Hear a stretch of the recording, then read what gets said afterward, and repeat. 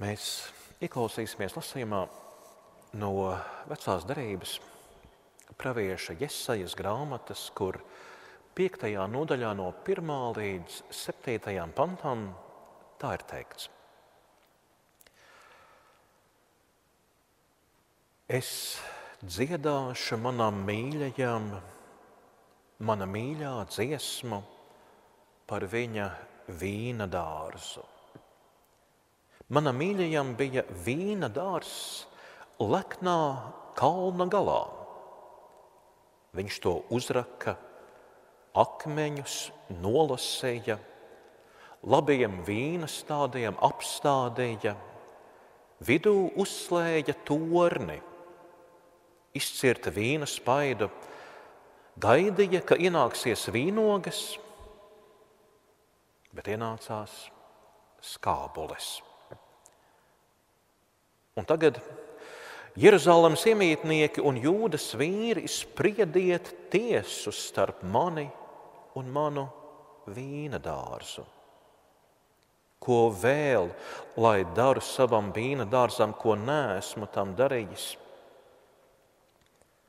Es taču cerēju, ka ienāksies vīnogas, bet ienācās skābulis. Tagad, nu, ziniet, ko darīšu savam vīna dārzam, es tam noņemšu žogu, lai izrīju, noplēsīšu mūri, lai izmīda, par postažu pataisīšu, vairs to negriezīs, ne cirps. Tur sliesies dzelkšņi un ērkšķi, un mākoņiem pavēlēšu nedot tam lietu. Pulku kunga vīna dārzs, ir Izraēla nams, un jūdas vīri ir viņa prieka stādi. Viņš gaidīja tiesu, un še asinis, taisnību, un še brēkšana. Tie ir svēto rakstu vārdi.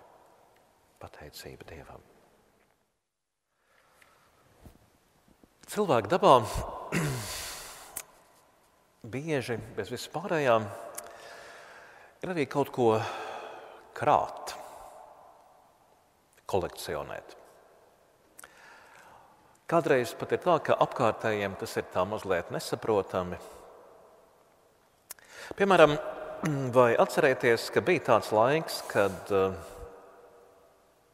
cilvēki krāja skaņu plates padomju laikā.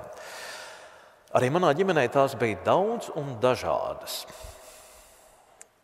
1970. un 80. gadi, mana bērnība, agra jaunība bija laiks, kad lielas un mazas šīs melnās skaņu plates skaistos vākos bija gandrīz katrā mājā. Gan padomju, gan varbūt pat no ārzemēm atsūtītas. Un mums likās, ka tas norāda uz kādu statusu, saista ar pasauli, padara dzīvi skaistāku, jo bija iespēja klausīties mūziku. Kādiem tādu mūziku, kā pašiem patīk. Un tas bija skaisti. Un, jā, vēl ar vienu man bērniņos stāv simtiem šādu skaņu plašu, un par to es esmu tiešām pateicīgs. Bet laika mainījās. Tirgū ienāca lenšu magnetofoni, vai ne? Arī ar tiem ir savs stāsts. Tad pēc kāda laika, 80. gada otrajā pusē, parādījās kasetes, kas mainīja mūzikas industriju. Un tad pēc dažiem gadiem visi sāka pirkt kompaktu diskus. Es esmu izgājis cauri visiem šiem posmiem. Un tagad arī kompakta diski, kā mēs labi zinām, ir noiets etaps. Protams, daudz vēl ar vienu krāju šīs vinila skaņu plates, vai ne, bet kā kaut ko antīku. Un jūs zināt, tā ir ar daudzām lietām. Tas tikai kā tāds neliels piemērs. Kaut kas iet uz augšu, cilvēki ir pārņemti savā ziņā ar kādu lietu, preci, ideju. Bet pēc kāda laika tas mainās. Vietā nāk kas cits. Un tas, kas bija ļoti populārs, cilvēku interesi un investīcijas piesaistošs, tāds vairs nav. Jo, piemēram, tagad taču visa mūsu mūzika, mūsu informācija, arī mūsu finansiālā, arī mūsu emocionālā dzīve ir saistīta ar to, ko saucam par telefonu. Tas ir aizvietojis vai ieņēmis vietu neskaitāmās dzīves dimensijās. Un tas ir tas, ko šobrīd cilvēki pērk un izmanto. Cilvēki vairs neiegulda savu kapitālu tajā, kur tie to ieguldīja iepriekš. Mēs daudzas lietas tā dzīvē mainām, un kaut ko arī neatgriezeniski pametam. Vēl par tādām praktiskām lietām domājot, nu, mēs zinām arī, ka piemēram vecās automašīnās nav vērts ieguldīt naudu un nebeidzami tās labot. Tas vienkārši neatmaksājas. Cilvēki arī saka, ka šobrīd automašīnas tā tiek ražotas, lai tā būtu diezgan īss mūžs. Tās vairs nav veidotas kā tāds ilgtermiņa ieguldījums. Tas arī ir daudzu biznesa cilvēku jautājums. Nu, kas ir tās sfēras, kurās ir vērts sevi ieguldīt, savus līdzekļus ieguldīt, lai gūtu peļņu? Diemžēl kāds biznesa cilvēks man reiz teica, ka praktiski gandrīz vienīgā sfēra, kurā visos laikos vienmēr ir vērts ieguldīt savu naudu un savus līdzekļus, diemžēl ir ieroču industrija. Tas ir skumji, vai ne? Bet, nu labi, tas šobrīd nav svarīgi. Un, jūs zināt, tas pats attiecas arī uz dažādu līmeņu attiecībām. Droši vien tas konstruktīvākais jautājums, kas mums būtu jāuzdod jebkurās attiecībās,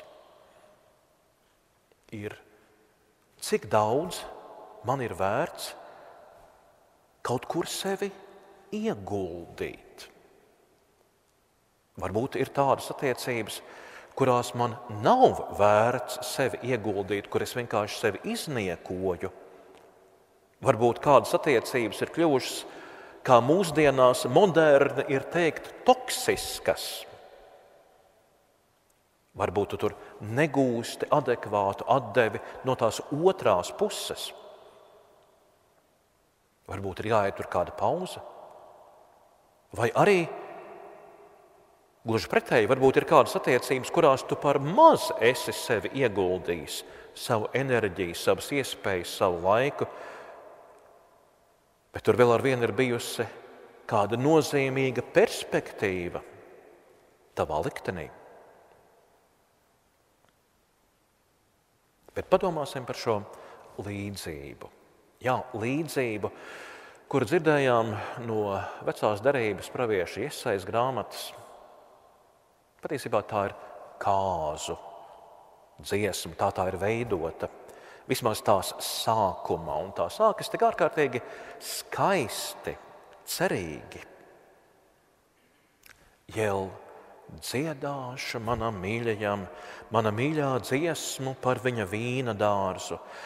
Manam mīļajam bija vīna dārzs sleknā kalna galā. Viņš to uzraka, akmeņus nolasīja, labiem vīnas tādiem apstādīja, vidū uzslēja torni, izcirta vīna spaidu, cik skaisti.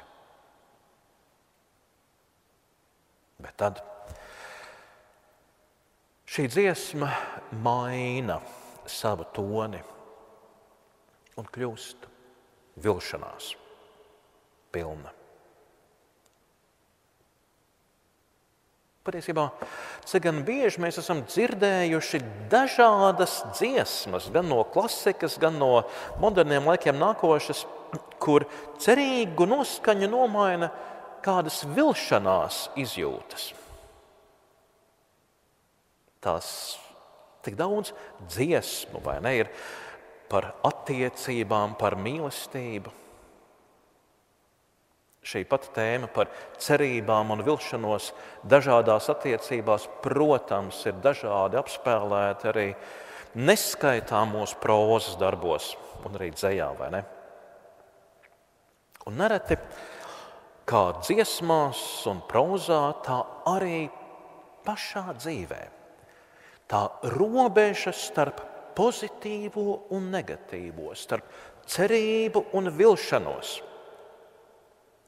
tik ļoti trausla.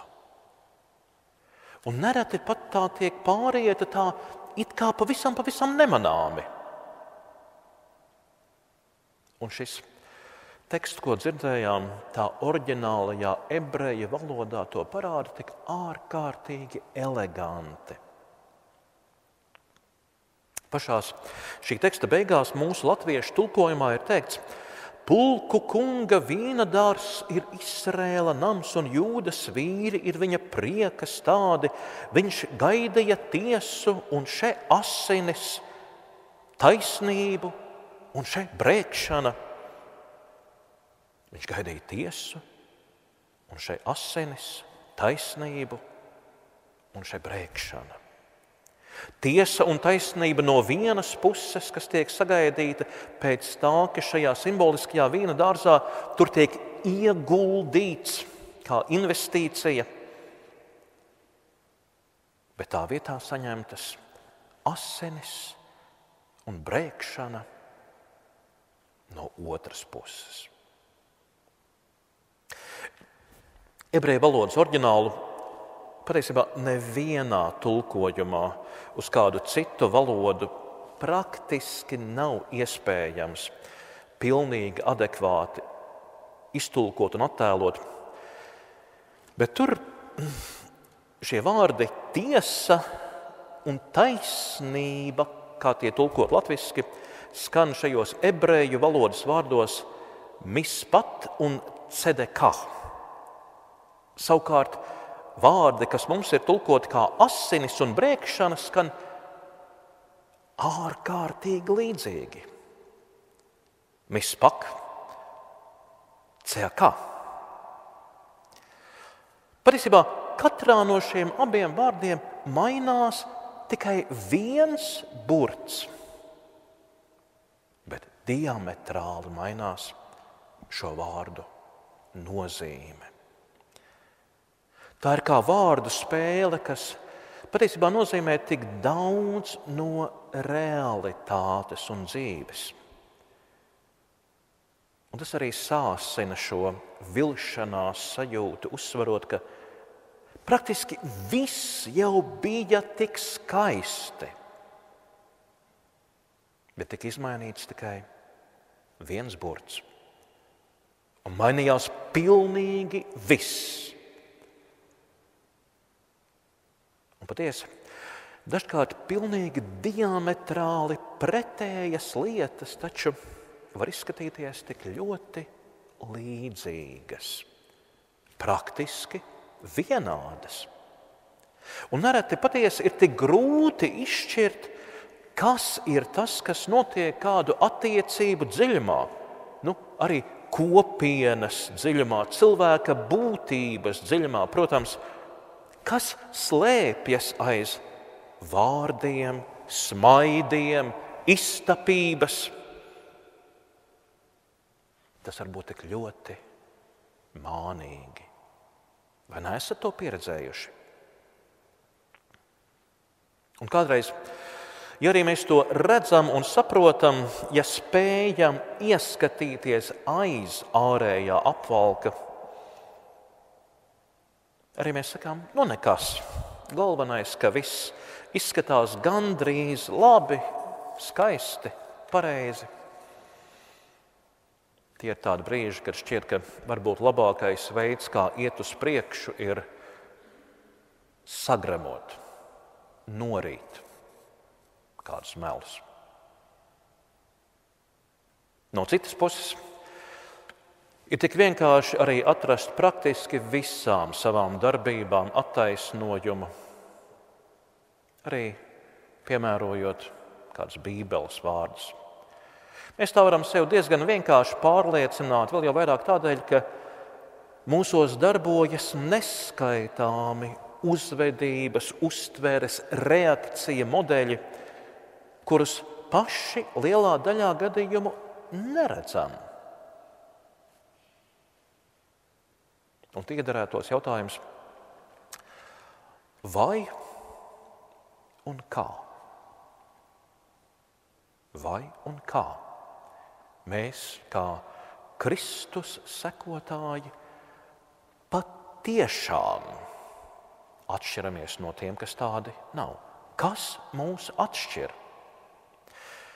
Un gan vecās derības laikā, pirms Kristus runājot par šo tekstu no Iesaijas grāmatas, gan jaunās derības laikā Kristus sekotājiem šī atšķirība starp tiem, kas apliecina savu sekošanu patiesajam dievam, un tiem, kas to nedara, noņemot kādas ārējas izkārtnes, visbiežāk nu nav nekāda lielā. Varbūt pat bieži pavisam nekāda.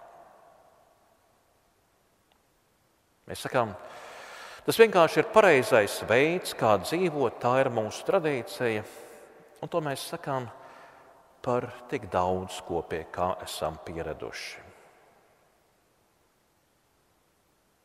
Bet tad varbūt pienāk kāds brīdis, kad dažādu apstākļu dēļ cilvēkā ienāk doma, bet varbūt man uz manu dzīvi tās pašā dziļākajā līmenī ir jāpaskatās savādāk.